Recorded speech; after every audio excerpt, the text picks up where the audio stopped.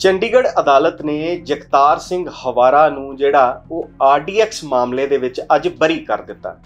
Chandigarh police ਇਸ case ਦੇ ਵਿੱਚ ਜਿਹੜੇ ਗਵਾਹ ਸੀ, ਉਹਨਾਂ ਨੂੰ ਪੇਸ਼ ਨਹੀਂ ਕਰਾ ਪਾਈ।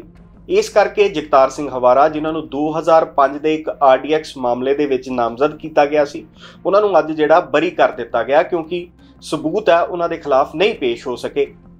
ਦਰਅਸਲ 2005 ਦੇ ਵਿੱਚ ਚੰਡੀਗੜ੍ਹ ਪੁਲਿਸ ਨੇ ਕਮਲਜੀਤ ਤੇ ਪਰਮਜੀਤ ਨਾਂ ਦੇ ਦੋ ਸ਼ਖਸ ਗ੍ਰਿਫਤਾਰ ਕੀਤੇ ਸੀ। ਦੱਸਿਆ ਜਾਂਦਾ ਸੀਗਾ ਕਿ ਇਹਨਾਂ ਕੋਲੋਂ ਜਿਹੜਾ ਆਰਡੀਐਕਸ ਬਰਾਮਦ ਹੋਇਆ, ਉਹ ਜਗਤਾਰ ਸਿੰਘ ਹਵਾਰਾ ਨੇ ਇਹਨਾਂ ਨੂੰ ਮੁਹੱਈਆ ਕਰਾਇਆ ਸੀ। ਇਹਨਾਂ ਨੂੰ ਚੰਡੀਗੜ੍ਹ ਦੇ ਸੈਕਟਰ 35 ਚੋਂ ਗ੍ਰਿਫਤਾਰ ਕੀਤਾ ਗਿਆ ਸੀ। ਜਿਸ ਤੋਂ ਬਾਅਦ ਇਸ ਕੇਸ ਦੇ ਵਿੱਚ ਜਗਤਾਰ ਸਿੰਘ ਹਵਾਰਾ ਦਾ ਨਾਮ ਜੋੜ ਦਿੱਤਾ ਗਿਆ, ਕਿਉਂਕਿ ਇਹ ਉਹਨਾਂ ਦੇ ਸਾਥੀ ਦੱਸੇ ਜਾ ਰਹੇ ਸੀ। ਜਗਤਾਰ ਸਿੰਘ ਹਵਾਰਾ ਜਿਹੜਾ, ਜਦੋਂ ਇਸ ਕੇਸ ਦੀ ਪ੍ਰੋਸੀਡਿੰਗ ਚੱਲੀ, ਜਿਹੜੇ ਇਸ ਕੇਸ ਦੇ ਵਿੱਚ ਗਵਾਹ ਸੀਗੇ, ਉਹ ਪੇਸ਼ ਨਹੀਂ ਹੋਏ। ਫਿਰ ਪਤਾ ਲੱਗਾ ਕਿ ਜਿਹੜਾ ਗਵਾਹ ਸੀ, ਉਹਨਾਂ ਦੀ ਮੌਤ ਹੋ ਗਈ ਹੈ। ਜਿਸ ਦੇ ਚੱਲਦਿਆਂ ਫਿਰ ਜਗਤਾਰ ਸਿੰਘ ਹਵਾਰਾ ਨੂੰ ਅੱਜ ਜਿਹੜਾ ਇਸ ਕੇਸ ਦੇ ਵਿੱਚ ਬਰੀ ਕਰ ਦਿੱਤਾ ਗਿਆ। ਉਧਰ ਦੂਜੇ ਪਾਸੇ ਜਗਤਾਰ ਸਿੰਘ ਹਵਾਰਾ ਸਮੇਤ ਜਿਹੜੇ ਹੋਰ ਬੰਦੀ ਸਿੱਖ ਹੈ, ਉਹਨਾਂ ਦੀ ਰਿਹਾਈ ਵਾਸਤੇ ਮਹਾਲੀ ਦੇ ਵਾਈਪੀਐਸ ਚੌਂਕ ਦੇ ਵਿੱਚ ਤਕਰੀਬਨ 1 ਸਾਲ ਤੋਂ ਇੱਕ ਧਰਨਾ ਵੀ ਲੱਗਾ ਹੋਇਆ।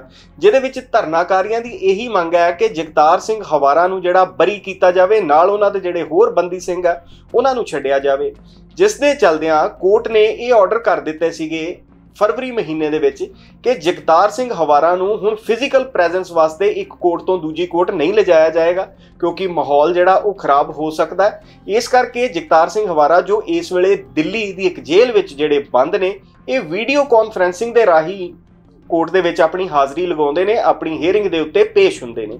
ਦਰਅਸਲ 31 ਅਗਸਤ 1995 ਨੂੰ ਪੰਜਾਬ ਦੇ ਸਾਬਕਾ ਮੁੱਖ ਮੰਤਰੀ ਮਰਹੂਮ ਬੇਅੰਤ ਸਿੰਘ ਜਿਹੜੇ ਆ, ਉਹਨਾਂ ਦਾ ਕਤਲ ਹੋ ਗਿਆ ਸੀ, ਉਹਨਾਂ ਦੀ ਅਸੈਸੀਨੇਸ਼ਨ ਹੋ ਗਈ ਸੀ, ਉਹਨਾਂ ਨਾਲ ਬੰਬ ਅਟੈਕ ਉਹਨਾਂ ਤੇ ਹੋਇਆ ਸੀ ਬੰਬ ਅਟੈਕ ਕੀਤਾ ਗਿਆ ਸੀ।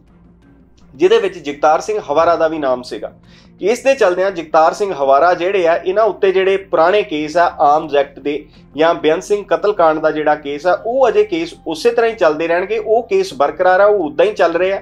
ਪਰ 2005 ਦੇ ਵਿੱਚ ਜਿਹੜਾ ਇਹਨਾਂ ਦੇ ਉੱਤੇ ਇਹ ਆਰਡੀਐਕਸ ਵਾਲਾ ਇੱਕ ਮਾਮਲਾ ਪਿਆ ਸੀ, ਜਿਹਦੇ ਵਿੱਚ ਚੰਡੀਗੜ੍ਹ ਪੁਲਿਸ ਨੇ ਇਹ ਦਾਵਾ ਕੀਤਾ ਸੀਗਾ ਕਿ ਜਿਹੜਾ ਕਮਲਜੀਤ ਸਿੰਘ ਤੇ ਪਰਮਜੀਤ ਸਿੰਘ, ਜਿਨ੍ਹਾਂ ਕੋਲੋਂ ਆਰਡੀਐਕਸ ਬਰਾਮਦ ਹੋਇਆ, ਚੰਡੀਗੜ੍ਹ ਦੇ 35 ਸੈਕਟਰ ਚੋਂ ਜਿਨ੍ਹਾਂ ਨੂੰ ਗ੍ਰਿਫਤਾਰ ਕੀਤਾ ਗਿਆ। ਇਹਨਾਂ ਦੇ ਸਬੰਧ ਜਿਹੜੇ ਆ ਜਗਤਾਰ ਸਿੰਘ ਹਵਾਰਾ ਦੇ ਨਾਲ ਹੈ। ਇਹ ਬੰਬ ਧਮਾਕਾ ਕਰਕੇ ਜਿਹੜਾ ਮਾਹੌਲ ਖਰਾਬ ਕਰਨਾ ਚਾਹੁੰਦੇ ਸੀਗੇ, ਇਹ ਅਸ਼ਾਂਤੀ ਪੈਦਾ ਕਰਨਾ ਚਾਹੁੰਦੇ ਸੀ। ਜਿਸ ਦੇ ਚਲਦਿਆਂ ਜਗਤਾਰ ਸਿੰਘ ਹਵਾਰਾ ਉੱਪਰ ਇੱਕ ਆਰਡੀਐਕਸ ਦਾ ਮਾਮਲਾ ਵੀ ਜਿਹੜਾ ਉਹ 2005 ਚ ਸ਼ੁਰੂ ਕੀਤਾ ਗਿਆ, ਜਿਹੜਾ ਅੱਜ ਤਕਰੀਬਨ 18 ਸਾਲ ਤੱਕ ਚੱਲਿਆ ਤੇ 18 ਸਾਲ ਬਾਅਦ ਜਿਹੜਾ ਜਗਤਾਰ ਸਿੰਘ ਹਵਾਰਾ, ਉਹਨਾਂ ਨੂੰ ਅੱਜ ਇਸ ਕੇਸ ਦੇ ਵਿੱਚ ਬਰੀ ਕਰ ਦਿੱਤਾ ਗਿਆ ਕਿਉਂਕਿ ਜਿਹੜੇ ਗਵਾਹ ਸੀਗੇ, ਉਹ ਪੇਸ਼ ਨਹੀਂ ਹੋਏ ਔਰ ਉਹਨਾਂ ਦੀ ਮੌਤ ਹੋ ਗਈ, ਜਿਸ ਦੇ ਚਲਦਿਆਂ ਜਗਤਾਰ ਸਿੰਘ ਹਵਾਰਾ ਆਰਡੀਐਕਸ ਮਾਮਲੇ ਦੇ ਵਿੱਚ ਜਿਹੜੇ ਆ, ਉਹ ਬਰੀ ਕਰ ਦਿੱਤੇ ਗਏ Subscribe to One India channel and never miss an update.